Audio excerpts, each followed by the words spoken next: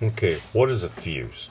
A fuse is placed in all circuits as some sort of circuit protection as a weak link to protect the wiring and equipment from excessive amp draw.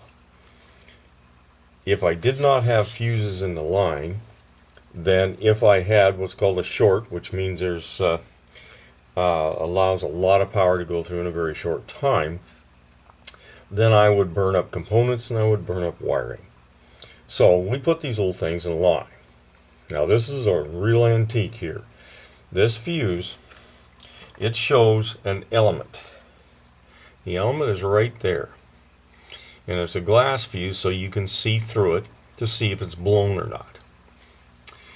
Well, these were kind of the old school. These were one time, I mean, they'd blow and you'd have to replace them with another one. They had a screw base on them, like this.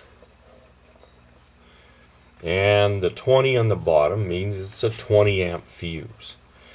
Uh, the sockets they uh, turned into were very similar to light sockets, and they were the early form of circuit protection. Usually, if you have a panel that has these in it, you've got a bunch of fuses sitting in a box next to it, most of which are already blown because you're overloading your circuits. Anything that's using this type of circuit protection anymore is usually a bit of an antique.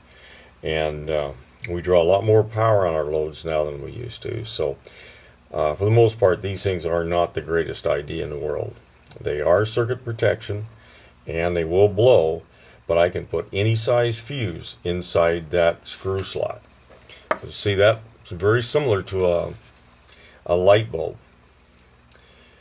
And if you have this type of fuse in here, the circuit may have been set up for 15 or possibly even 10 amps and I can put a 30 amp fuse in this. They'll all fit.